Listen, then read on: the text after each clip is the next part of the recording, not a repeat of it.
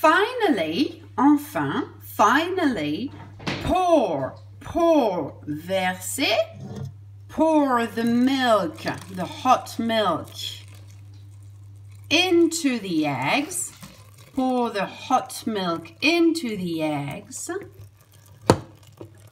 And this is it.